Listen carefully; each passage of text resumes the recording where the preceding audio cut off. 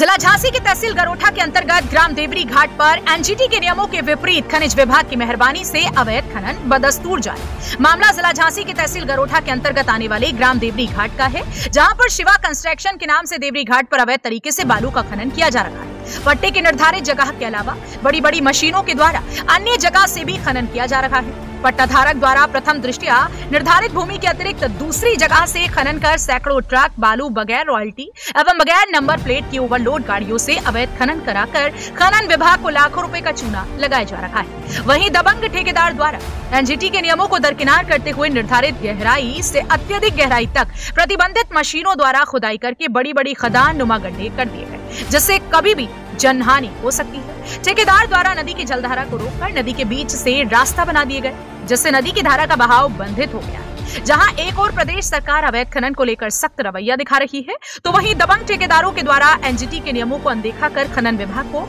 लाखों की क्षति पहुंचाई जा रही है। अब देखना यह है कि खनन विभाग और तहसील मुख्यालय पर बैठे आला अधिकारी ऐसे दबंग ठेकेदारों पर क्या कार्रवाई करता है, या फिर दबंग ठेकेदारों के सामने मौन धारण करके धृतराष्ट्र की भूमिका निभाता है। सभी क्षेत्रवासी एवं जनपद वासियों को कुंवर प्रमोद सिंह, राजावत, गौहन पूर्व मंडल कोऑर्डिनेटर मंडल, झांसी, बसपा, जालौन पूर्व जिला पंचायत प्रत्याशी, गौहन की ओर से मकर संक्रांति एवं गणतंत्र दिवस की हार्दिक शुभकामनाएँ।